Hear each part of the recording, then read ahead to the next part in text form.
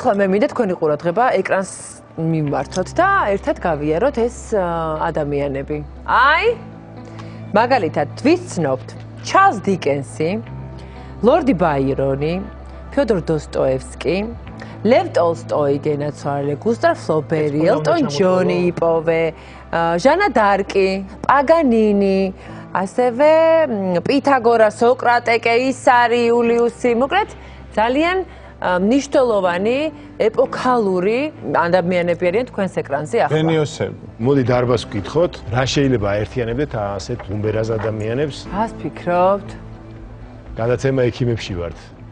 თიკვა მინდა გითხრა რომ ამ ყველა გენიალურ პიროვნებას ერთი საერთო დაავადება გქონდათ, რასაც ეპილეფსიური შეტევა ქვია. და აქვე გეტყვით, რომ ჯანდაცვის სოფლიო ორგანიზაციის მონაცემების თანახმად დაახლოებით ყოველწლიურად 5 მილიონ ადამიანს უსვავენ ეპილეფსიის დიაგნოზს. ეპილექსია ქრონიკული ნევროლოგიური დაავადებაა.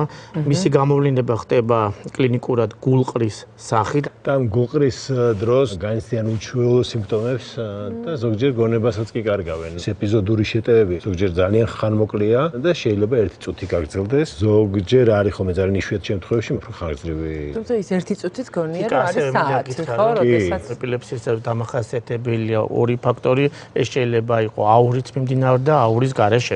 თიკა ეპილეფსია შეიძლება ნებისმიერ ადამიანს განუვითარდეს, განურჩევლად სქესისა და ასაკისა. ეპილეფსიის გამომწვევი ბევრი მიზეზი შეიძლება არსებობდეს, თუმცა პაციენტების ნახევარს გარკვეული წინაპირობები შეიძლება ქონდეს. ისეთები როგორიც არის მაგალითად გენეტიკა, თავის ტრამვა, ტვინის სხვადასხვა დაავადებები, ინფექციები, მუცლად ყოფნის დროს განვითარებული დარღვევები და სხვადასხვა ინფექციები. ზოგადად ეპილეფსიის გულყრების მოგერიება თუ კი ადრეულ ეტაპზე იქნება ეს დიაგნოსტირებული, ბევრად მარტივია, იმიტომ რომ მედიკამენტოზურად ძალიან ადვილად შეიძლება მათი მართვა, თუ სრულად ელიმინაცია არა და ამიტომ ძალიან მნიშვნელოვანია დროული დიაგნოსტიკა და შესაბამისად მკურნალობა, თუმცა არის შემთხვევები, როდესაც მკურნალობაც არ არის გამართლებული და აქ უკვე ქირურგიული ჩარევა არის ძალიან მნიშვნელოვანი და აუცილებელიც კი. ამიტომ ჩვენ ახლა შემოვიწვიოთ სტუდიაში დამხმარე ძალა, რომელთან ერთადაც გავარკვევთ როგორ ხდება ქირურგიული მეთოდი.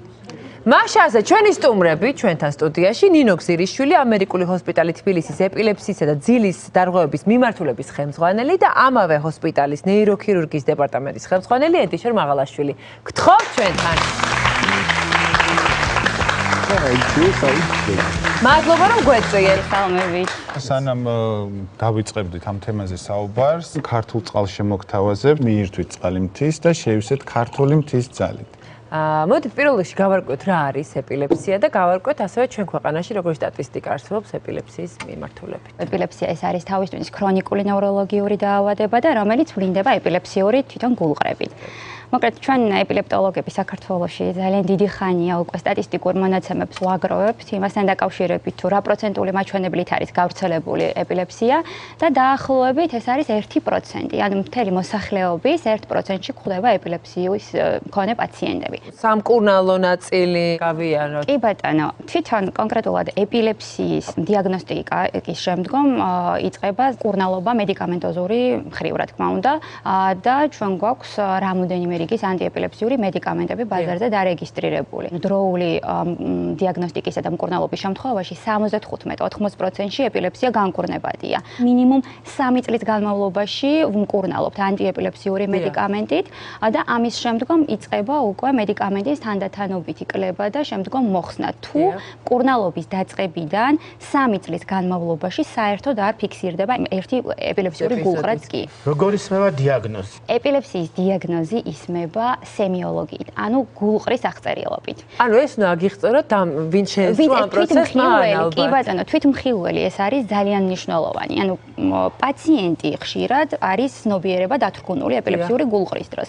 ამიტომ მან არის ის კონკრეტულად რა დაემართა, თუმცა ძალიან მნიშვნელოვანია წილობრივად უკვე თუ რა ტიპის ეპილეფსიაზეა ლაპარაკი, რა აურა აქვს, ანუ რას გრძნობს წინასწარ შეტევამდე, ამაში უკვე პაციენტი გვეხმარება. კონკრეტულად იქ თუ ანუ გულ გულყრის აღწერაში თვითმხილველი გვეხმარება და შემდგომ პოსტიქტალურ ეძახით, ანუ გულყრის შემდგომ მდგომარეობას პაციენტი თუ არის ძილიანი, კონფუზია, აი ამ შემთხვევაში უფრო ვიხრებით, რომ ეპილეფსია. ელექტროენცეფალოგრაფიული კვლევა უკვე გვეხმარება დიაგნოსტიკაში კონკრეტულად საიდან იწყება ეპილეფსიური გულყრა. კიდე რა ტიპის მკურნალობა არსებობს? როდესაც ლაპარაკია ეპილეფსიის ქირურგიულ მკურნალობაზე, ძალიან მნიშვნელოვანია სელექცია, ანუ შერჩევა პაციენტის. ანუ როდის უნდა გადავიდეს პაციენტი ეპილეფსიის ქირურგიულ მართვაში. ანუ როდესაც ნაცადია 2 და მეტი ანტიეპილეფსიური მედიკამენტი. და გულყრები მაინც რჩება მინიმუმ თვეში 2 და მეტი, უკვე აი ამ შემთხვევაში ვთქვათ ნეიროქირურგებს მკურნალობაში. აი ეს ქირურგიული მკურნალობის მეთოდი აი რას რაში მდგომარეობს? თავისთვის აქვს ქერქი. დიახ. რომლის პრინციპში ძირითადი ამოცანა არის ელექტრონული დენის გენერაცია. იქ ხდება შაქრის წვა ჟანგბადში და ამ პროცესში გამოთავისუფლებული ენერგია ეს არის ის, რითიც ჩვენ ცხოვრობთ. ქერქში ხანდახან ხდება ჭარბი ელექტრონული აქტივობის აღმოცენება და ძალიან ძალიან მარტივად რო ვთქვათ, მოკლე ჩართვის პრინციპით პათოლოგიური იმპულსის გავრცელება თავის ტვინში. ოღონ აი ეს გავრცელების შედეგად ყალიბდება მთელი ეპილეპტოგენური სელი, ასე ვთქვათ, რომლითაც თავის ტვინის სხვადასხვა უბნები დაკავშირებულია ერთმანეთთან და შესაძლებელი არის ორივე ჰემისფერო იყოს ეპილეპტოგენური აქტივობით ერთმანეთთან დაკავშირებული. სამი ძირითადი მიზეზია, რატომაც შეიძლება ფარმაკორეზისტენტული ეპილეფსიის ფორმა ჩამოყალიბდეს. ეს არის არასწორად შერჩეული მედიკამენტი, არასწორად შერჩეული დოზირება და პაციენტის მიერ ექიმის დანიშნულების არ შესრულება და როდესაც აი ამ სამი მიზეზის გამო ერთ გულყრას მოყვება მეორე, მესამე და მეოთხე პაციენტი მიდის იმ მდგომარეობაში, როდესაც უკვე ამის მედიკამენტოზურად მკურნალობა აღარ შეიძლება. საოცარია, მაგრამ პირველი ეპილეფსიური ქირურგია, ყოველ შემთხვევაში გამოქვეყნებული იყო 1954 წელს. ეს იყო ტორონტოს უნივერსიტეტის პროფესორის ვაილდერ პენფილდის და პარიზის უნივერსიტეტის პროფესორის ჰერბერტ ჯასპერის ნაშრომი ფუნქციონალური ნეიროანატომია ერქვა წიგნს. დაყავდა ეპილეფსიით დაავადებული ვაილდერ პენფილდს და მაგითო გადაწყვიტა რომ გამხდარიყო ნეიროქირურგი. და მან დაიწყო ცხოველებზე ცდების ჩატარება, გააკეთა ცნობიერი კრანიოტომია, ელექტრონული დენით გაღიზიანება ქერქის და მიიღო მოტორული პასუხი კიდურებში, განსაზღვრა თავის ტვინის რაუბნები ამოძრავებს ადამიანის ხელს, ფეხს, სიცოცხლეს მეტყველებას და ასე შემდეგ. ზოგადად მან და არქვა ყველა იმას თავისი ზონა. მან აღმოაჩინა თავის ტვინში პენფილდის კაცუნა ქვია. კაცუნა იმიტომ რომ ზუსტად ჩანს ხელისად მოძრაობს, ფეხისად მოძრაობს, ენა სახე ყველა ადამიანის ნებითი მოძრაობა მახნახწერა პირველმა. დაუშველა და საბოლოო ჯამში. ძალიან კარგი, ძალიან ძალიან კარგი კითხვაა. მე გადაწყვიტა თავის დვითისთვის ოპერაციის ჩატარება, ჩაუტარა მას ცნობიერი კრანიოტომია, შემდეგ ეკითხებოდნენ მას, რომ როგორ არისო შენი და ოპერაციის შემდეგ და ეს პასუხობდა რომ გააჩნიაო რას გულისხმობთო გუყრებმა გაუარეს მაგრამ ის ჩემი და აღარ არისო მან ემ ფსიქოემოციური ცვლილება გამოიწვია. ეს ძალიან მნიშვნელოვანია იმიტომ რომ ის თავის ტვინი რომელზეც ჩვენ გვიწევს ქირურგიული ოპერაციის ჩატარება არ განსხვავდება ვიზუალურად ნორმალურისგან.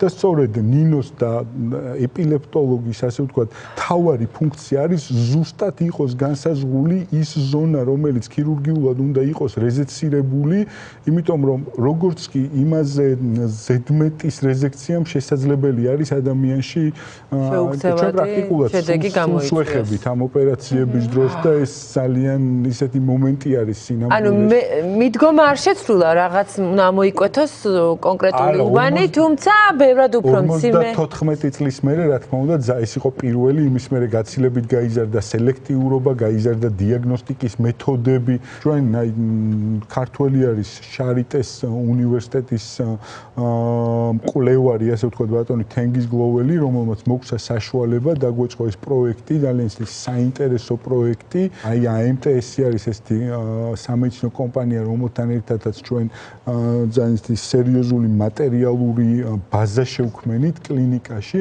რომელიც უბრალოდ ერთი ნაბიჯით უფრო დაგვაახლოვებს და გარკვეულ ჯგუფს, ვისაც ქირურგიული მკურნალობა ჭირდება, ჩვენ სამწუხაროდ ყოველას ჯერ ჯერჯერობით ვერ მოვიცხოვთ, ეს უბრალოდ იქნება პირველი, მაგრამ ძალიან დიდი ნაბიჯი, იმიტომ რომ ყველა მოგზაურობა პირველი ნაბიჯით იწყება და მე უბრალოდ ამაყივარ დღეს, რომ ერთადერთი კლინიკა, სადაც ნეირომეცნიერთა, ასე ვთქვათ, ჯგუფია, სადაც ნევროლოგები და ნეიროქირურგები ერთმანეთზე ვართ დამოკიდებულები და ერთმანეთს ვუსმენთ.